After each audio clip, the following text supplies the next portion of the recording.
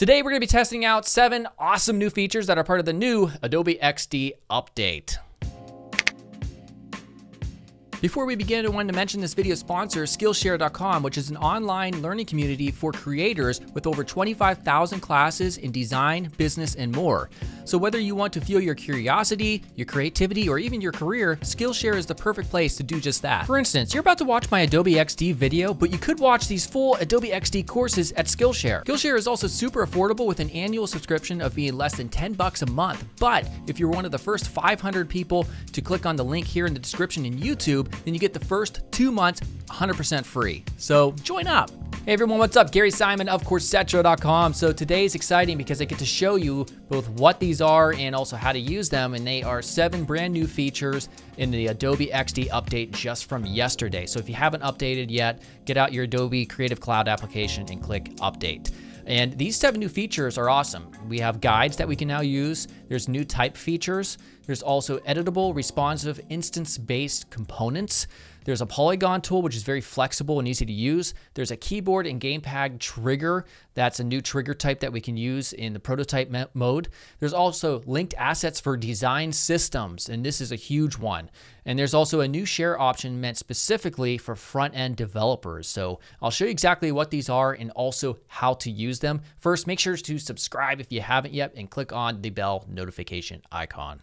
All right, so you're here in a new document in Adobe XD. I just have an iPhone uh, artboard open here, and let's get started. So the very first thing I'm going to show you, uh, once we get this little uh, nav bar kind of worked up here, real quickly, we'll just give it um, just like a almost a black color right there. The first thing I'm going to show you is that is new to this update are the guides. So if you hover over either the, the left or the top, you'll see the icon change. And we can simply just left click and drag it over and we now have our guides. So uh, the way you get rid of them, just put them right back. Very, very simple stuff. All right, so if we wanted a guide here, we could see that it, it denotes at the top where it says 17, that's how many units it's from the left side. Uh, it'll switch over as well. It'll let you know. You can see it, they're kind of both on the right and left, which is very handy. So I'll just leave this here for now and we'll use the type tool and that'll bring us to the next new feature. So let's say um, I'll just put in design course like that. And real quickly, I'll update my type. And now, now that we have our type in here, let's say for instance, we want to see what it looks like in all caps. Well, this is the new feature over here, uppercase lowercase, and also title case. So we can switch between all three of these very easily now. Awesome, awesome stuff. Next, let's go ahead and take a look at components. So there used to be what's called symbols where you could take a reusable element and you would be able to put it across different artboards or different areas of the same artboard. And if you make one adjustment to one of them, they all change. Well, that was a little bit inflexible uh, because what if, for instance, you wanted to make a certain specific change uh, through the color or the size of something? Um, and you don't want it to necessarily replicate across all instances of that uh, symbol. Well, you weren't able to do that. So now you can with what are called components.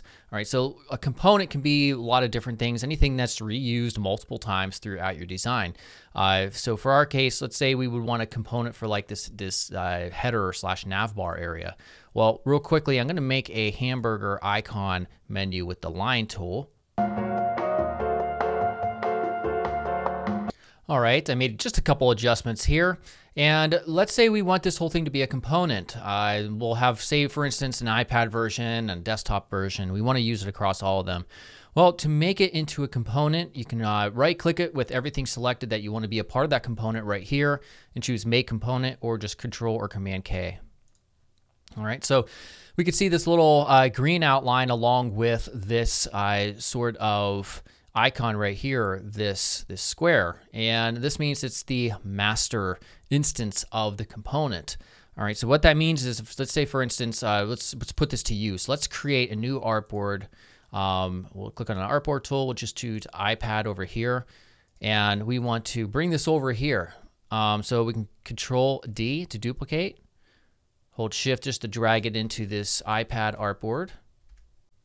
And let's go ahead and now drag it across. Of course, as you can see, it's responsive.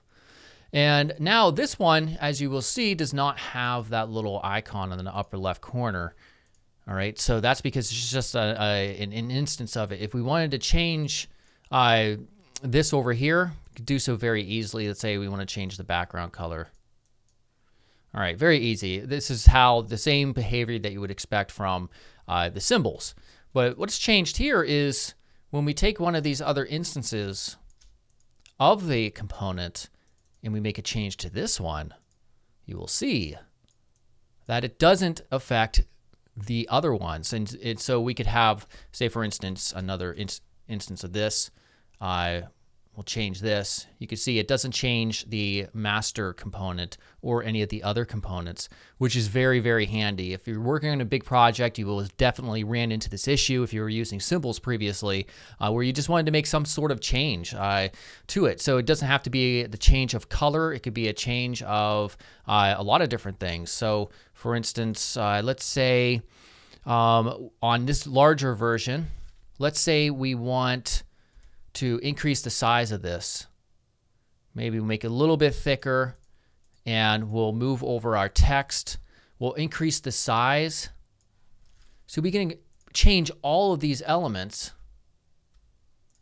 like this without worrying about affecting any of the other instances of the component. But we can still change anything that's still the same across the other components if we adjust something on the master component. So for instance, if we wanted to change the color of the uh, type right here, we can see they're both white, the same exact color code. So we can go ahead and change it to, I don't know, something like this. And you'll see they will change accordingly as long as you haven't made custom adjustments specific uh, uh, specific to one of the other child instances of that component. So very, very handy. This is a huge update that's really been um, in demand for quite some time. So I'm going to do the same thing real quickly. Uh, we're, we're going to create another component, but I'm also going to show you another feature. It's the third feature um, that is really cool that they've integrated. So uh, let's go ahead and choose like a, a blue color here, perhaps um, something right around here.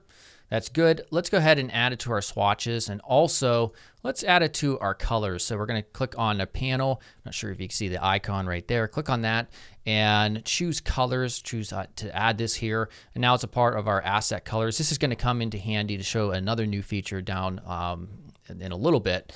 And let's come out and let's choose this new tool. So this is a brand new tool um, that we haven't seen yet, and that is the polygon tool. Mm, this is very exciting.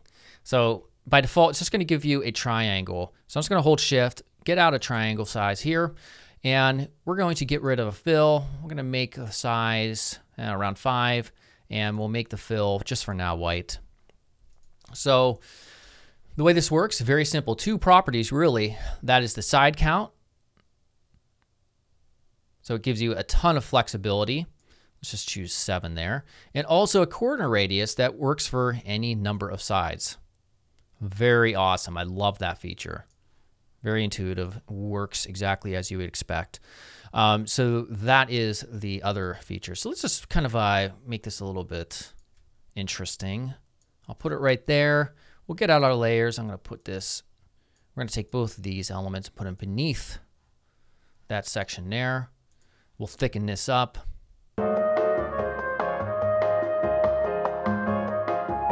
All right, and let's say we're happy with this, all right? So this would be our hero component. And let's take everything right here and we will right click and choose make component or control K. And once again, we'll want to put this underneath here. And we're going to duplicate this. And we'll drag this all the way over. Very easy stuff. And once again, we may want to make certain things a little bit higher or larger. So we can double click into here. And there you go. All right. So now again, we because it's a component, we can still make changes to this one. Uh, we can adjust the color if we wish, and it works exactly as you would expect. Awesome, awesome stuff. All right, so the next tool that's a part of the features here in the new update, I'm going to demonstrate by duplicating this artboard. I'm just going to change one thing differently about this. Uh, maybe it'll just be the color of this section right here. Let's choose something that's yeah, right around there. Two different artboards, all right? So let's go to prototype. We'll drag this over. Um, well, we'll just do a, Uh, yeah, we'll just drag this over and we will choose a new trigger, which is the next feature, which is the fifth feature. Uh, we'll see under trigger, we have a new keys and gamepad. All right. So you could press a key to assign it. And so I don't know, I'll choose F. No, let's just choose the right keyboard arrow. Sometimes you'll see on certain UI designs, uh, it'll give you the option to use your keyboard if you want to navigate to different screens. Uh, so that makes sense. We'll leave everything else the same here and give it a shot. So I'm going to hit the right keyboard arrow and there we go. Awesome, awesome stuff. All right, so the next feature is huge, especially if you're working with multiple designers or a team of some sort. And this is linked assets. So I'm going to go back to a design. We're going to go to the assets panel and we can see we only have one color at the moment. Let's go ahead and double click into here. We're going to add this color from the background which is almost a black right there. Um, maybe we'll add this one as well. All right, you get the point at this uh, so far. So we can also add one of the character styles. So we'll just choose um, some type. We have Montserrat at 13 points and 21 points. And we also have our two components, which you can double click and we can just change this to hero. And we'll change this one to uh, navbar. All right, so these are the assets we're now working with. And in a real project, you would have a ton more of these. I mean, you'd have form elements for your components. You'd have just a bunch of stuff, your button styles. Um, it would just basically your design system that's contained within this assets panel. And you want to be able to easily share with other designers the, the this this design system and all of these assets essentially so that they can create other designs that are perhaps a, a, part of the same project or the same brand, and also be able to quickly update these assets as well because you know design system the assets uh, the style guide it always changes. Uh, at least it's if it's an active company uh, with active designers. So uh, the way this works is very, very cool. So let's show how this works. The way you set this up is first, we're going to save this to the cloud. Okay. I'm just going to call this design course demo and we'll save it and it'll be ready momentarily. Now, uh, you go to share and you click invite to edit here. All right. So this is where you would add the email address of the people uh, that you want, obviously, perhaps they be other designers or whatever, and add it here, okay? Uh, and so for me, I'm just going to be me, the owner, and we're still going to demonstrate this uh, with two different XD documents um, to simulate exactly what's happening. It's so freaking cool. All right, so I'm going to get a new document out here, and let me just uh, bring this over here. All right, and let's say, for instance, you know, I shared this to whoever at whoever.com. And this is whoever at whoever.com's account right here. All right. And they're going to start designing maybe a new mobile app for your company's design, but they want access to your design system and your assets essentially. Well, all they have to do is click on link assets. And you'll see you have cloud documents. These are the cloud documents I've had stored here, but also shared with you. All right, so it says you have no shared cloud documents. Normally, if I invited, this is where this document right here and this design system would show up right here. But because I don't have another account, I'm just going to choose the design course demo. It's going to do the same exact thing. So when we select it, we don't get this design right here, all of these artboards. All we get is the assets that are now linked. And that's obvious based on the fact that this has a link and it says it's up to date.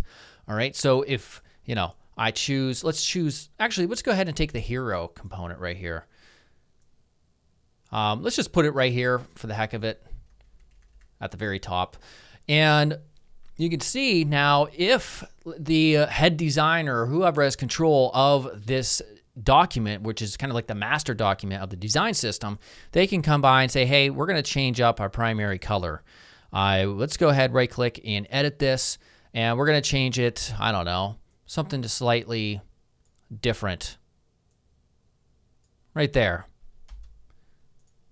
So if I save it here, instantly you'll see this document that's open perhaps in a different account, it'll mention linked asset update available, give you some information about it. And what's really cool is uh, if we hover over it, it'll show you what has changed. Uh, and then you can choose to click it to accept it. Now, what's really cool is let's say they also want to um, update one of the component elements that you use. Well, let's say for instance, we change the color of this. Uh, maybe we'll change it to this color right here. That works. All right, so we can go ahead and save that. And now we can see this is highlighted and we hover over it to see what the change is. And this person could choose to not update it by not clicking it or by updating it and actually clicking it. And it's ready to go. That is so freaking awesome. Now, the final feature that I thought was worth showing here is what is called shared for development. Now, usually when you're working within Adobe XD, you're a UI designer. Um, that's the initial phase of development for an app uh, of sorts, uh, when it comes to the aesthetics at least. The next process uh, is the handoff from the UI designer to the front end developer who, hander, who handles, not handers, the HTML, CSS, JavaScript, you know, basically all the coding that's essential to make this come to life in the browser or the mobile device or whatever. Uh, and sometimes one of the difficult things about that is what Adobe has discovered is, you know, people are complaining uh, because there was a lot of back and forth between the front end developer and the UI designer in that the front end developer would keep on asking and bugging the UI designer, you know, what size is this? You know, what exact color code is this uh, certain element? So they've really remedied that with this next feature. So I, the way we do this is after you've saved it, click share and you share for development. And that's the new feature. So if we choose share for development and we create the link, We'll get a public link here or private, depending on which things you use privacy. And it's going to load up and it's going to show all the artboards by default. So we have our two artboards here. Um, let's just click on this one. And what's really great now is it has all the information that a front end developer would need in order to accurately and quickly I translate this into front end development code. So we can click on specific elements. It's going to let, let them know the units here. Uh, it's going to give them a guideline. Uh, very handy. Each element you select, it's going to tell them the properties, the font, the colors, the opacity. This is great. All right, so hopefully you enjoyed that and learned quite a bit. We're probably going to be jumping into some of these features, especially um, the linked assets for design systems feature. Now that you know how to use it, I actually want to create uh, a tutorial, maybe even a, a, course about how to create design systems. And I'm sure Adobe XD will be an integral part of doing that because it's a great tool now for managing and cur curating and, and modifying your design systems. All right, so make sure to subscribe if you haven't yet, and I'll see you very soon with a new tutorial. Goodbye.